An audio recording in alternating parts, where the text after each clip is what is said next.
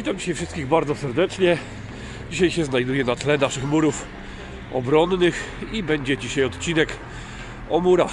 Kiedy powstały, z czego zostały zbudowane, ile miały wież i jaką funkcję pełniły i do kiedy y, one były, kiedy zaczęto rozbierać nasze mury.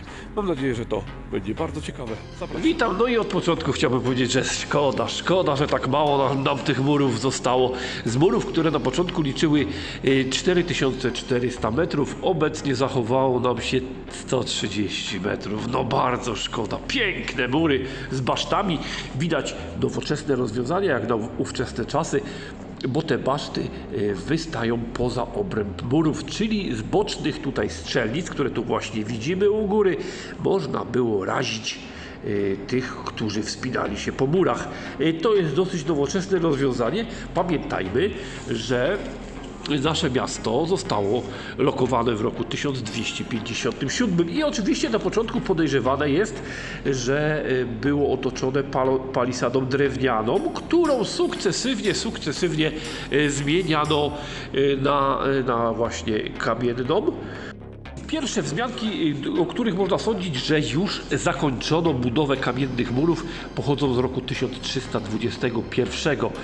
Y, Te takie otaczaki, to się nazywa, nazywają otaczaki, czyli takie zwykłe kamienie polne, y, spajane zaprawą y, wapienną, wzmocnioną y, kurzym białkiem. Podobno, ale słyszałem tam, że niektóre źródła wspominają o zwierzęcej krwi, a nawet o odchodach. Tak, dlaczego miałyby odchody wzmacniać zaprawę wapienną? Tego nie wiem, czy to były plotki, może tylko takie. W każdym bądź razie od początku w, na, w, ob- w obrysie tych naszych murów obronnych y, były dwie wieże, y, dwie bramy, czyli brama Santocka na wschodzie i brama Młyńska na zachodzie. Później dobudowano również bramę mostową, która była najmniejsza z tych wszystkich y, trzech bram i też mury, które biegły wzdłuż warty były najsłabiej bronione. Y, Tam było mniej wież, y, bo wiadomo, sama warta, jakby to powiedzieć, broniła tych murów. Było też parę furtek w murach obronnych. Na pewno była furtka od strony północnej i prawdopodobnie poł- południowo-zachodniej, no tam gdzie siedzibę miał y, kat miejski. Grubość naszego muru obronnego wynosiła od 90 do 140 cm u podstawy i y, 110 do 80 cm zwieńczenie, czyli tam u góry. I dookoła miasta biegło 30, broniło nas 30 lub 32 baszty. Te baszty, które tutaj widzimy, tych baszt nie zachowało nam się zbyt dużo. Tutaj zamurowane z boku jest wejście na klatkę schodową, bo tu do, na tą basztę dostawało się y, taką wąską klatką schodową.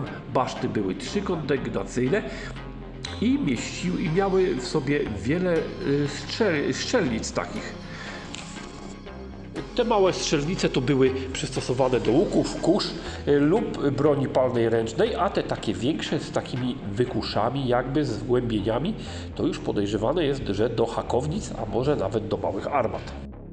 No i nasze mury gorzowskie spisywały się bardzo, ale to bardzo dobrze. Przez blisko 400 lat były nie do zdobycia. W 1326 roku podeszły pod nasze mury wojska litewskie i odeszły.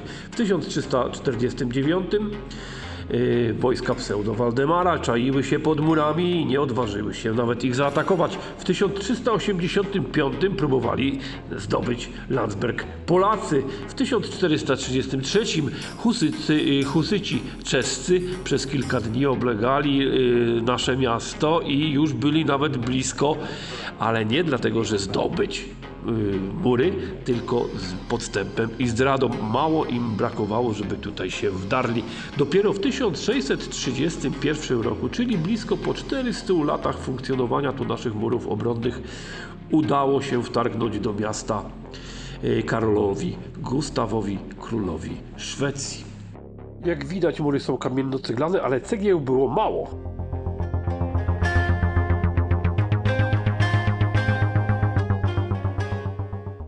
Słyszałem taką historię, że jeżeli ktoś chce oglądać kamienie z tych murów, y, które zostały rozebrane za Niemca, powinien udać się nad Wartę i popatrzeć na nasze piękne główki, które są właśnie wyłożone jakby tymi właśnie kamieniami y, z murów. Kamienie uzyskane y, z rozbiórki murów obronnych zostały użyte do budowy główek i umocnień nadwarciańskich. Tak słyszałem, czy to prawda? Nie wiem.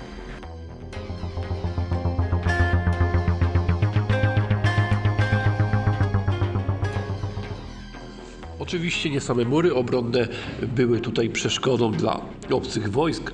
Y, Dookoła murów biegła fosa. Za fosą był wał ziemny, a za tym wałem ziemnym miała swój nurt odnoga rzeki Kłodawki. Mało kto wie, ale Kłodawka rozdzielała się na dwie, a nawet na trzy odnogi i opływała nasze mury miejskie. W południowo-zachodniej części naszych murów y, wzmacniał tę obronność jeszcze zamek krzyżacki. Y, tak wybudowany był na początku XV wieku i miał taką dosyć sporą cylindryczną wieżę. Mury nasze później były wzmacniane pewnymi szańcami już takimi nowoczesnymi w kształcie jaskółczego ogona. Wzmacniali to Szwedzi, wzmacniała to załoga carska w dobie wojen na przykład 30-letnich, a upadek naszych murów zaliczać już można od początku w zasadzie XIX wieku. W 1819 y, roku zaczęto nie zamykać już bram y, miejskich, a w 1828 zburzono bramą, mamy bramę młyńską i santocką. A baszty zaczęto wykorzystywać jako mieszkania dla biedoty miejskiej i, i wykorzystywać jako ściany do przylegających tutaj właśnie budynków. W 1834 roku zburzono bramę mostową, w 1857 roku Zaczęto budować tory kolejowe i zburzono całą długość murów, po których mniej więcej teraz idzie nasza estakada kolejowa. W roku 1882 zaczęto niszczyć, e, likwidować mury tutaj na północy, gdyż powstawało już tak zwane Nowe Miasto, e, a ostatnia rozbiórka e, murów była w roku 1919.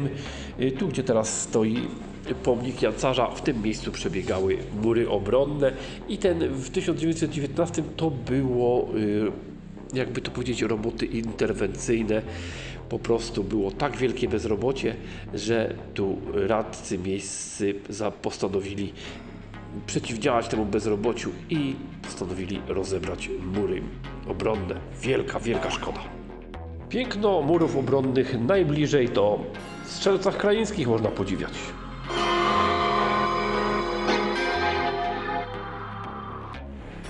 Mam nadzieję, że materiał o naszych murach, chociaż krótki, ale treściwy, wszystkim się spodoba. Zapraszam na tajemnicę Gorzowa. Według kwiatka. Hmm, Tajemnice i wędrówki kwiat, z kwiatkiem.